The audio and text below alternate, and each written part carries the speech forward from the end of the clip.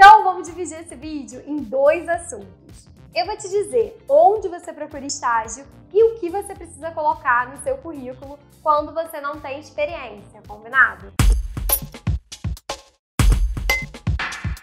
Fala galera, tudo bem? Quem aí tá precisando de um estágio urgente, mas tá penando porque não tem experiência? Chove comentário aqui no canal de pessoas que estão doidas para trabalhar, mas dizem que nem todas as minhas dicas servem para quem nunca trabalhou. Então eu tô aqui para te contar que seus problemas acabaram, porque esse vídeo é inteirinho para te ajudar a finalmente conseguir aquela vaguinha dos sonhos. Cola aqui no Futurana que o seu futuro profissional tá garantido. Já larga o joinha aqui embaixo para me deixar assim muito mais revigorada, feliz, contente toda a vida. Esse vídeo aqui, ele é recheado de nostalgia, porque eu lembro muito bem da Ana de 14 anos atrás, que entrou na faculdade, já queria trabalhar assim, ó, pá, de uma vez, já queria começar logo. Eu tô falando aqui trabalhar, mas a verdade é que eu queria mesmo era uma graninha, porque eu era dura toda a vida.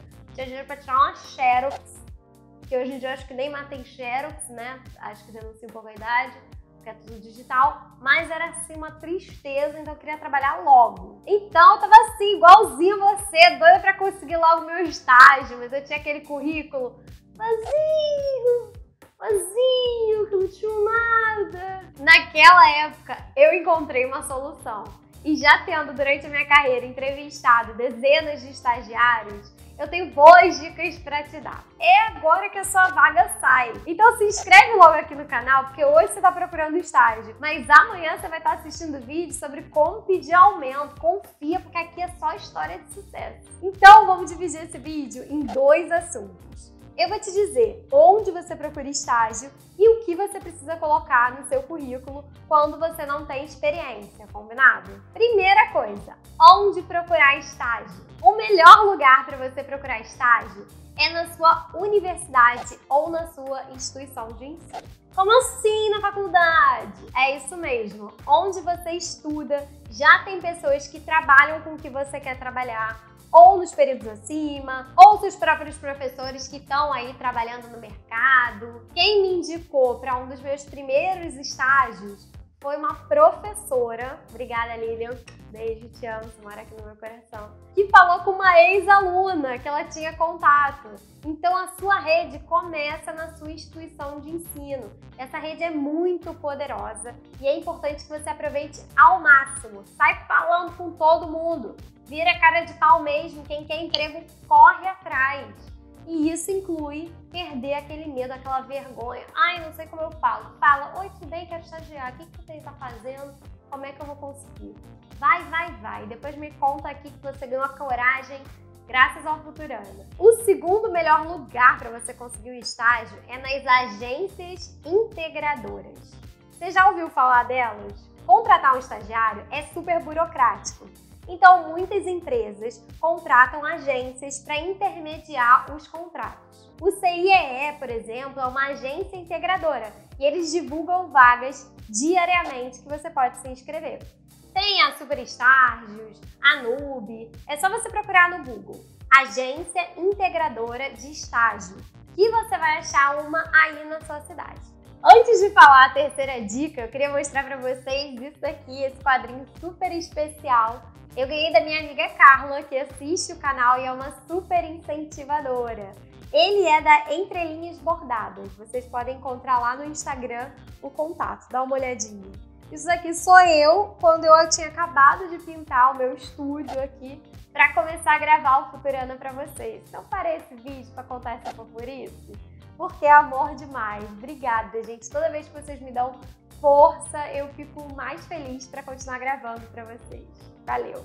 O terceiro melhor lugar é no site das empresas que você quer trabalhar. Muitas delas têm programas de estágio para encontrar novos talentos e você precisa se inscrever direto no site. Pensa agora quais empresas, quais lugares você gostaria de trabalhar dá aquela fuçadinha no site. Vai que tem um processo seletivo prontinho para começar. Ok, beleza, sua cabeça deve estar tá fritando porque eu te contei um monte de lugar para você encontrar vaga, mas calma, porque se seu currículo continua aquela coisa triste, sem nada, Então acompanha aqui que eu vou te dar as dicas agora de o que, que você precisa fazer para chamar a atenção dos recrutadores. Aqui no canal tem uma videoaula que eu ensino a fazer currículo do zero. Eu vou deixar o link aqui em cima para você assistir assim que acabar esse vídeo. E eu sei muito bem que as empresas têm exigido cada vez mais experiência dos funcionários, como se o estagiário já fosse um profissional pronto.